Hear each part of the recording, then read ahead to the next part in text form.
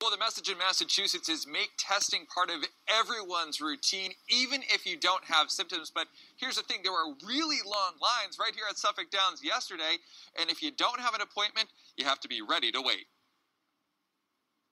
It's very frustrating to the point where my friend's in the car waiting, and I said, let's just go. Let's just go. Long lines and frustration at COVID 19 testing sites in Massachusetts. From Lawrence General Hospital to the TJX parking lot in Framingham to Suffolk Downs, the wait at some of the 300 testing sites in the Commonwealth can be long. The pandemic is growing and people want to be tested. People are traveling, people are getting together for the holidays, and people need to be tested. But getting an appointment can be tough, especially for people without symptoms who are forced to stick it out and wait in line.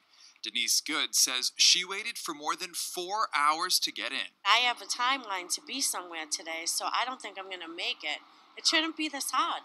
Just shouldn't. And it shouldn't cost so much money either. At urgent care facilities like Carewell and Somerville, the test is $160.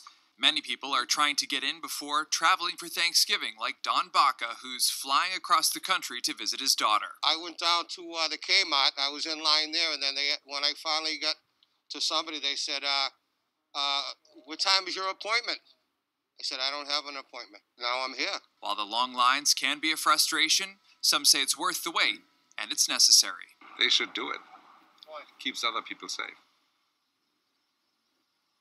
So yesterday during a press conference, Governor Baker acknowledged that this is a problem. To morning, Chris McKinnon, Seven News today in New England.